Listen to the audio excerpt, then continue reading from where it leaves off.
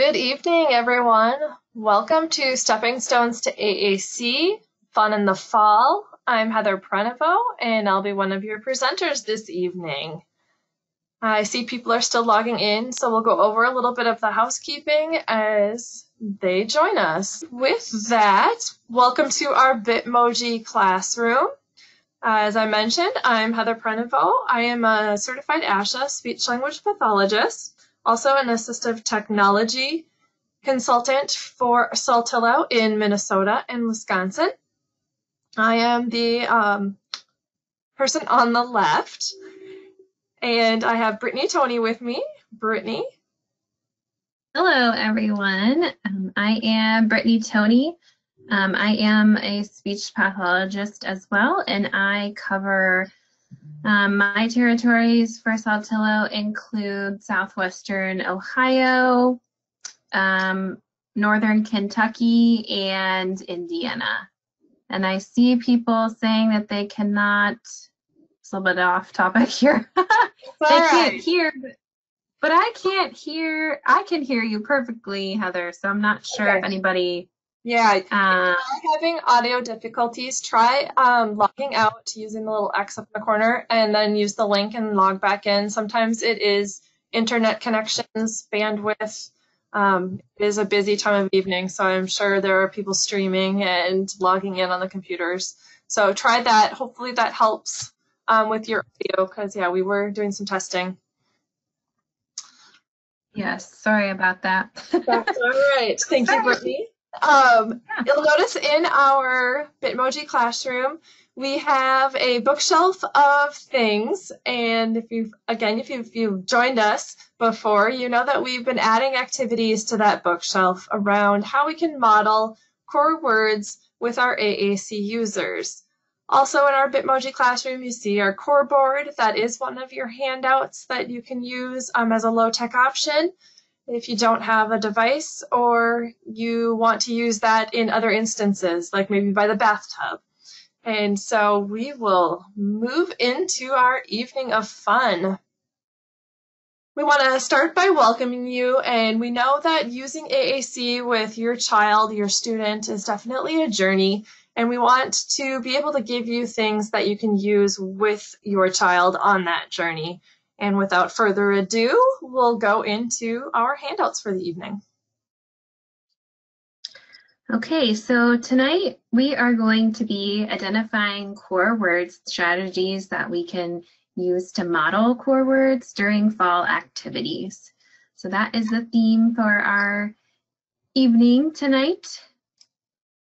But I will show you the different handouts that we have available for you. This is just kind of an overview. This first handout that we have is our organizational tool. So this is what we will be using together to plan what, choose our core words, plan our questions and comments for modeling, and then how we're going to model. So we're going to do this together, but we do suggest that you download this prior to that section just so you can jot down your own thoughts and ideas on this form as we do it together, and then you can use it later as your own tool or to give to families for a resource. Exactly. Yeah. Our next handout is our reference tool or our reference guide for the, our Stepping Stone to AAC courses. This is the same, this one and the organizational tool are going to be the same. So if you've attended any of our webinars um, related to the Stepping Stones to AAC courses, these will be the same.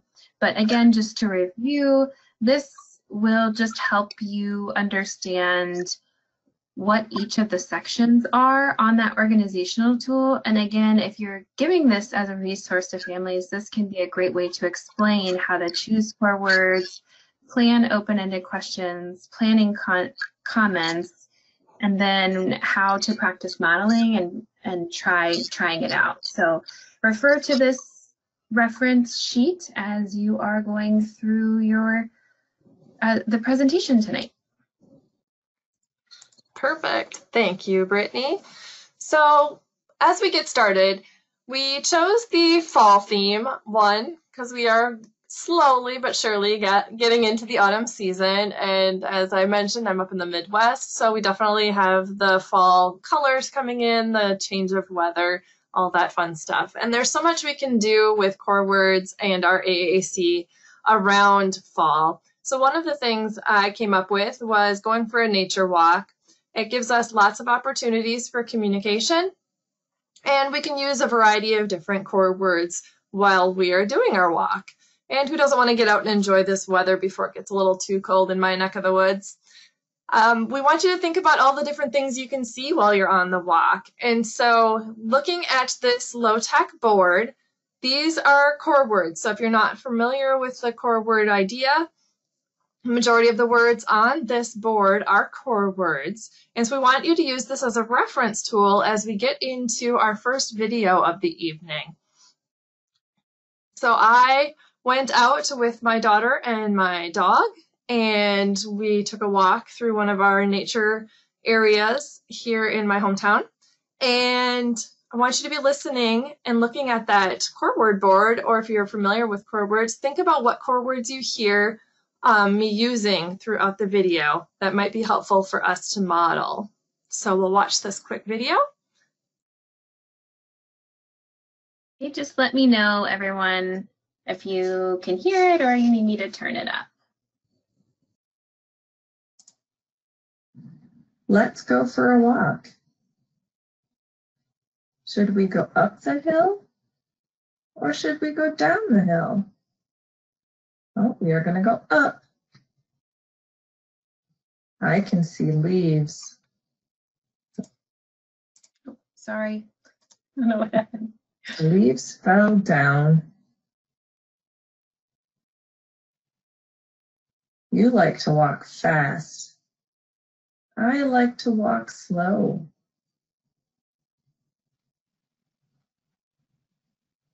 What else can we see on our walk? I see a tree fell down. This trail is windy.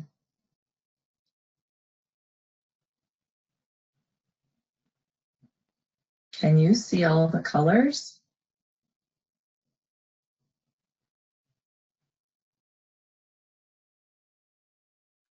Okay. Whoops, my apologies. I muted myself and started to talk. So, uh, with that video in mind, we're going to fill out the organizational tool together. So in the chat window, if you could share what are some core words that you heard me using throughout um, that video? Up and down, good. I see, good. I like, yep. Oh, Natalia, you're on a roll. Go up, down, walk, fast, see, yay. Cecilia, yes, what? Go, good. you guys are catching on. I like it. So yes, and I tried to use as many as I could, um, just because, as I mentioned, there's so much we could talk about using those words, um, and I just I enjoy going for those nature walks. So it was fun to do. Um, the next step is taking some of those words. So the words I chose, and we'll fill them in again as we go, were walk, can, and down. And with those, the next step is to think about open ended questions. And those are questions that encourage communication. There's not um, a yes no answer to them. They are going to provide opportunities to keep the conversation going. So you might have heard I often was trying to do some open ended questions when I was doing, but it's hard to do. And there were plenty that I noticed later where I did more yes no. So it's definitely a habit you have to um, work on. So to practice with open ended questions, I switched them up this week. So if you were here last week, these are different. Which one is um, an open ended question? Do you like the cold weather or what can you see?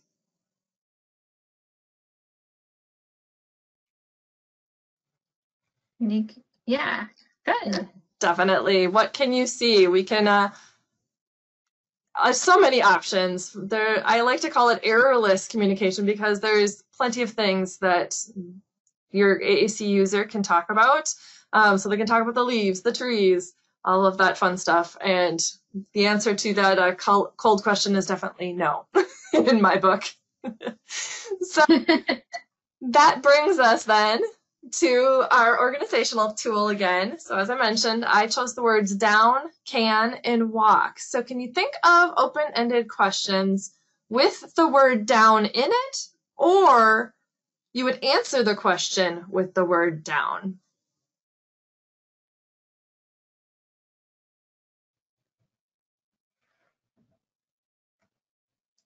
What about which way should we go? Awesome. Um, what is down on the ground? I like that. What is falling down? Perfect, you guys. Leaves are falling Did down. the should we? so don't use should we. Although they could respond with down or up, but. Down.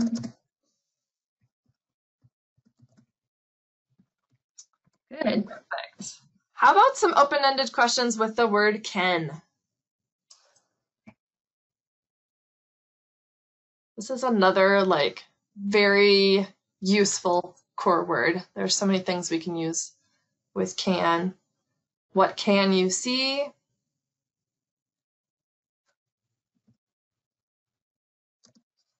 Which way do you want to go? Mm-hmm. Why?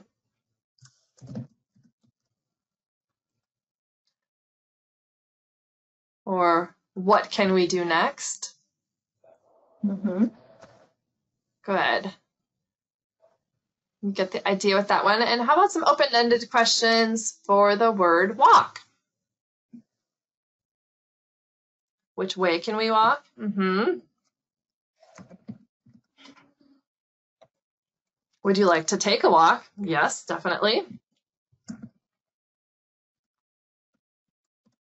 Or my favorite, which my dog has only one speed. So should we walk fast or slow? which is why I let my daughter hold the leash that day. Perfect. So you guys get the are um, awesome. The next step is thinking of possible comments. So if your child or your student is not yet responding to open-ended questions, which is just fine, we can be modeling comments or modeling the responses that they could make if they were to answer those questions.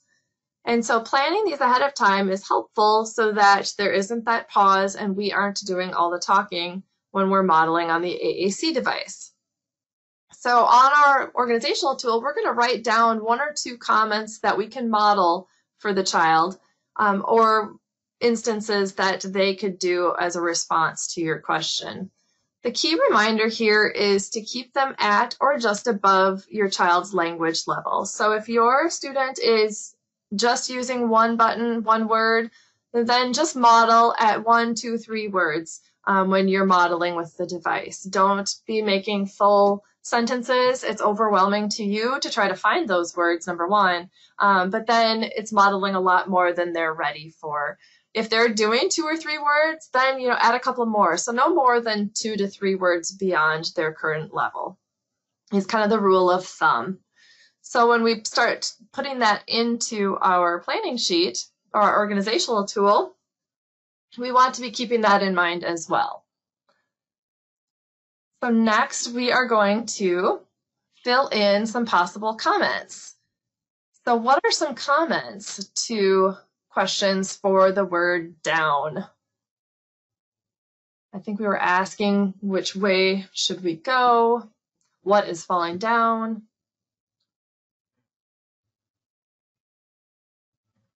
So we might even just model fall down, go down, let's go down, perfect. Leaves go down. Yeah, I like that you guys are keeping it simple, um, using those core words and maybe a few fringe like leaves. Mm-hmm. That's Yeah. that is um, a good thing to keep in mind, especially if you're just starting to model for your AAC users. Is start simple and follow their lead. They're going to slowly be picking up on this, and then you can expand and show them some longer utterances. How about some comments for the word can?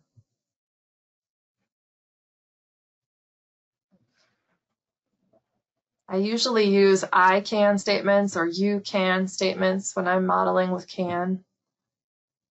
So maybe I or he can run fast. Perfect. You can go fast. I can go slow. Mm-hmm. Like I said, that one is kind of a universal. I can walk up. There's so much. And then if you really want to switch it up, you can add not, um, you know, cannot go, um, just for fun. So, how about for walk? Any comments you can think of for the word walk?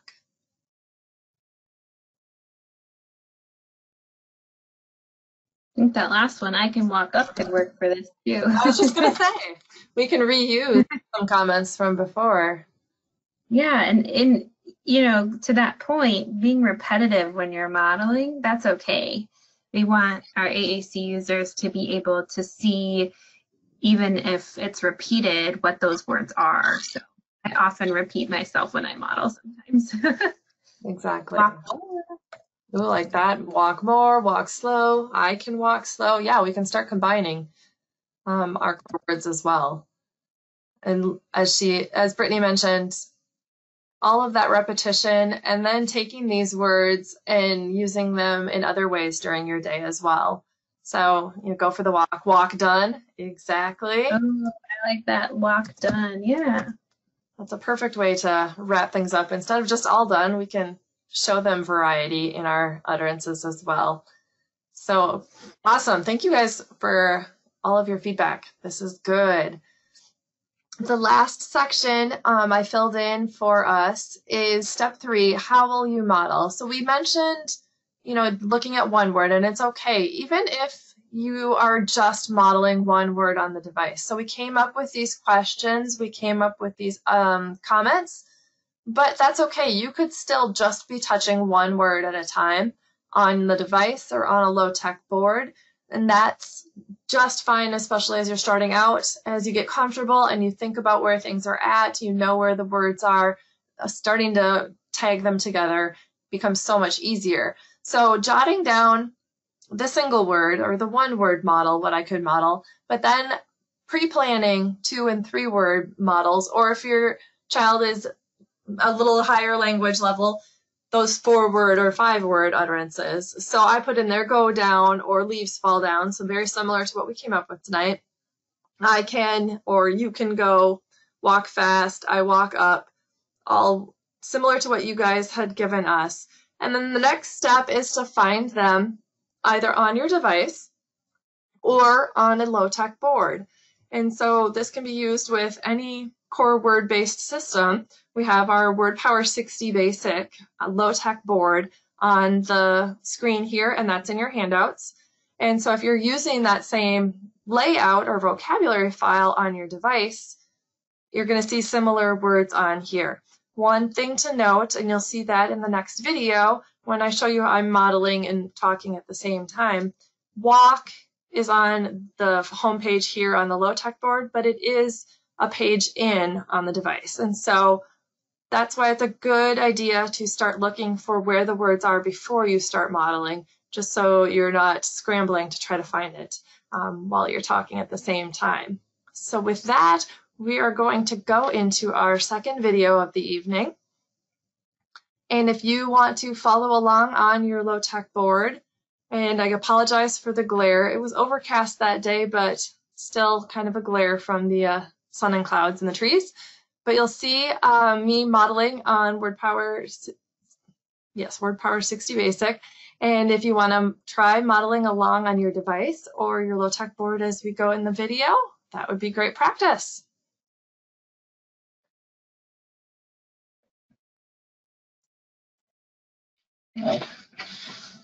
What can you see? Oh, I can see trees. Should we walk up or down?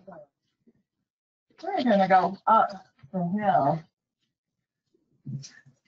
I can walk. Walk nice up the hill. Let's walk down the stairs.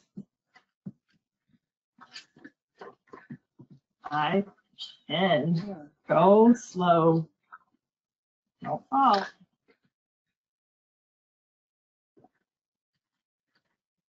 Good job, Ned.